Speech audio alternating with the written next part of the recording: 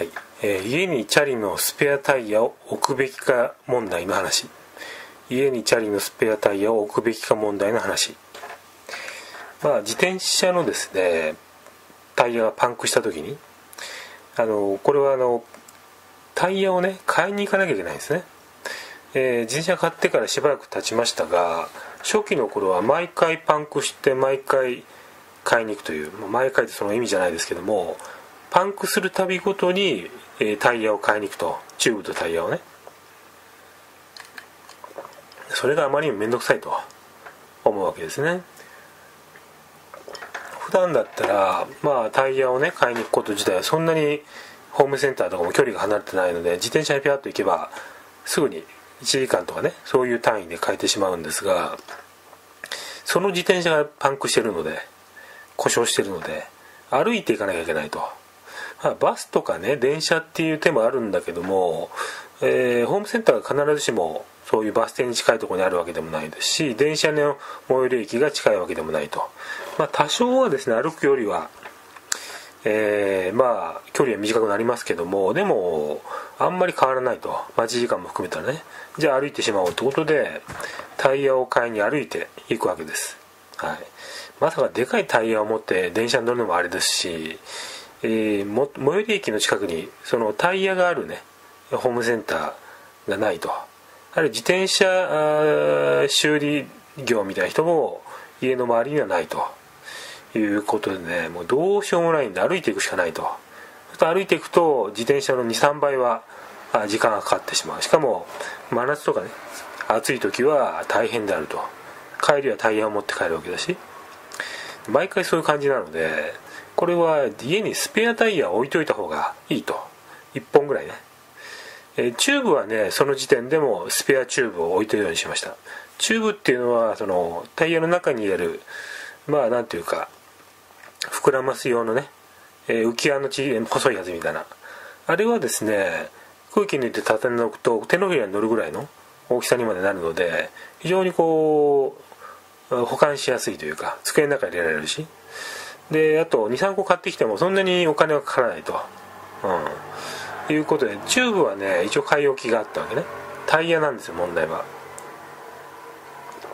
で毎回毎回パンクするたびごとに、えー、買いに行かなきゃいけないので1本ぐらいはね置いておこうと思ってタイヤのスペアを買いに行きました。はい。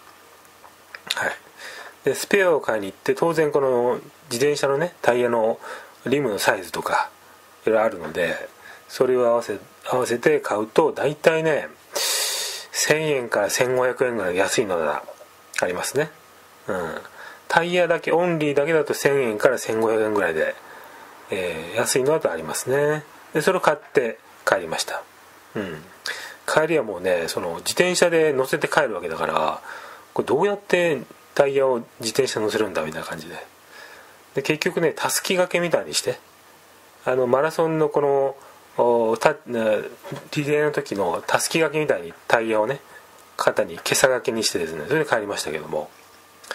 それで置いといたわけですね。でタイヤ用のスペアタイヤを買ってきた瞬間からタイヤがパンクしないというね。こういうなんかちょっと皮肉な状態になりまして。そこから1年以上。優に1年以上は全然タイヤがパンクしないという。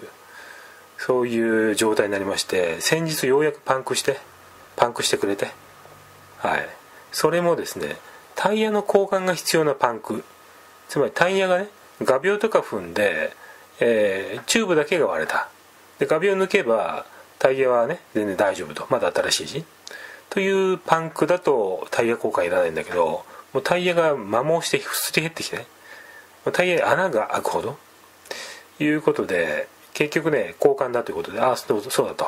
1年ほど前に買ったタイヤのチューブがあったな。あタイヤのチューブじゃない。タイヤの方があったなと。でまあ物置とか探すわけね。はい。でまだねこのタイヤを封にした封に入れたまんまビニールのこう封をしてあってそれを入れたまんまあこの物置みたいなのを入れたわけですね。はい。それでねどういう保管の仕方してたかっていうともちろんビニール封は開封しないでこう壁とかにね立てかけておく床に置いておくとか壁に立てかけておくとその設置面積があるわけですよね。設置面があると。だからあんま良くないのかなと思って。設置面は安定してるけどそれ以外のところは空中浮いてるわけだからその荷重のかかり方が一点に集中してしまうというかね。そうすると歪んでしまうだろうみたいな。あるいは湿気の問題とか、まあ、そんなにデリケートな商品じゃないんだけどもでもやっぱり歪んだら嫌だなとか。ありましたんで釣ってましたよ。はい。観葉植物みたいにこうフックかけてね天井に釣ってましたね。はい。まあ、釣ったとしても釣ったところだけ荷重がかかるので、えー、歪む時は歪むと思うんだけどでもまあ歪んでませんでした。大丈夫。目で見目で見た限りではね歪みはなくて1年以上放置したのに。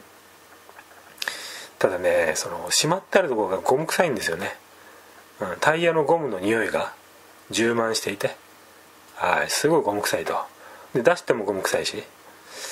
だからねこのタイヤのチャリをチャリのタイヤをね保管しておくべきか。これはちょっとね考えもんですね。場所もすごい取るし保管のその釣ってあるっていうね天井に釣ってあるっていうのも面倒くさいし。パンクもで最近は全然起こりませんが1年に1回も起きない感じなんでだったら買いに行った方がいいのかな？1年に1回以上パンクしないからね。まあ数年に1回だったら別に買いに行ってもいいよ。歩いて買いに行ってもいいよねみたいな感じで。ちょっとねまあ元通りになってしまいそうな感じなんですけど今のところねスペアタイヤはまだ買ってません。うん。まだね。